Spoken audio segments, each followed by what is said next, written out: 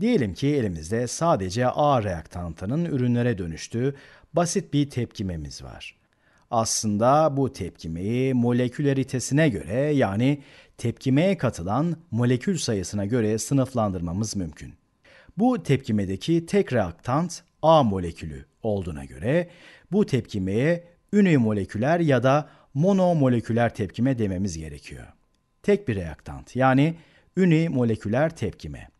Şimdi bu tepkimenin hız ifadesini yazalım. Hız ifadelerini nasıl yazdığımızı hatırlıyor olmalısınız. Tepkime hızı eşittir hız sabiti k çarpı reaktantların değişimi. Burada tek bir reaktant olduğuna göre çarpı a'nın derişimi de diyebiliriz. Denkleştirilmiş tepkimedeki katsayıları da üs olarak kullanabiliriz. Buradaki katsayı 1 olduğuna göre denklemede 1 yazabiliriz. Ama bunu sadece basit, tek basamaklı tepkimeler için yapabileceğinizi unutmayın. Yani aynı şeyi bir sonraki videoda göreceğimiz detaylı bir tepkime mekanizmasına sahip genel bir tepkimeye uygulayamazsınız. Ama bu basit tepkimeler için gönül rahatlığıyla yapabilirsiniz. Tepkime hızı hız sabiti k çarpı a'nın derişiminin birinci kuvvetine yani çarpı a'nın derişimine eşit. O zaman bu üni moleküler tepkime a'ya göre birinci derece diyebiliriz. Şimdi ikinci bir tepkimeye bakalım. Burada ürünler A'nın B'ye tepkimeye girmesiyle oluşuyor. Yani bu tepkimeye giren iki ayrı molekül var. Öyleyse bu tepkime bir moleküler bir tepkime. İşte böyle, bir moleküler. Bu tepkime için iki molekülün boşlukta çarpıştığını düşünebiliriz. Yani A molekülü B molekülü ile çarpışarak bize ürünleri vermiş olacak. Bu yüzden hız ifadesinin A ile B'nin ne kadar sık çarpıştığıyla bağlantılı olması oldukça mantıklı. Bu da tabii ki A ile B'nin derişimlerine bağlı. Eğer A ile B'nin derişimlerini arttırırsanız, çarpışmaların sıklığını arttırırsınız. Böylece de tepkimenin hızını arttırmış olursunuz. Hız ifadesini yazarken tepkime hızı eşittir, hız sabiti k çarpı a'nın derişimi. Bu yine basit, tek basamaklı tepkime olduğuna göre a'nın katsayısını üs olarak yazabiliriz. Yani a'nın derişiminin birinci kuvveti çarpı b'nin derişiminin birinci kuvveti, çünkü aynı şekilde b'nin katsayısını da üs olarak yazabiliyoruz. Gördüğünüz gibi bir moleküler bir tepkiminin hız ifadesini de bu şekilde yazmış olduk. Şimdi de farklı bir bimoleküler tepkimeyi inceleyelim. Bu sefer elimizde reaktant olarak A ve B yerine iki tane A molekülü var.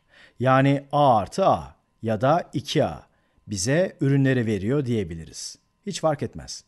İlk durumu kullanırsak 2A içinde katsayının 1 olduğunu görebilirsiniz. O zaman hız ifadesi de şu şekilde olacak. Tepkime hızı eşittir, hız sabiti k çarpı a'nın derişiminin birinci kuvveti. Burada da biraz önceki gibi katsayıları üs olarak yazdık. Bu durumda tepkime hızı eşittir, hız sabiti k çarpı a'nın derişiminin karesi de diyebiliriz. Öyle değil mi? Sonuç olarak a üssü 1 çarpı a üssü 1 a'nın karesine eşittir.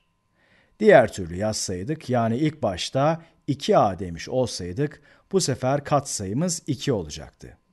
Aynı şekilde katsayıyı üs olarak yazdığımızda ise yine aynı sonucu elde etmiş olacaktık.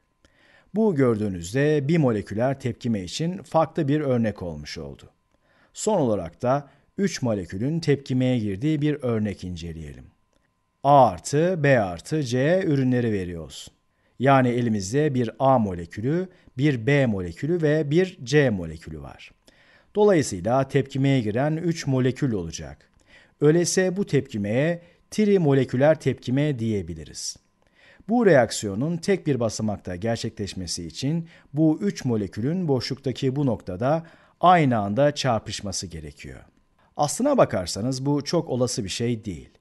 Yani 3 farklı molekülün aynı anda çarpışması oldukça zor. Ama zaten trimoleküler tepkimeler de çok nadir. Tabi bu bizim hız ifadesini yazmamıza engel değil.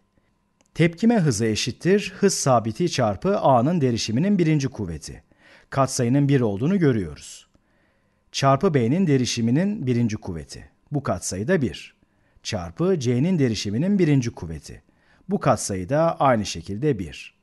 Gördüğünüz gibi basit reaksiyonlar için katsayıları rahatlıkla alıp hız ifadesindeki üs olarak kullanabildik. Ama bir sonraki videoda bunu yapamayacağımızı göreceksiniz. Yani detaylı mekanizmasını gördüğünüz bir tepkimedeki katsayıları alıp da hız ifadesine yerleştirmeniz mümkün değil. Bu nedenle de hız ifadesinin deneysel olarak belirlenmesi gerekiyor.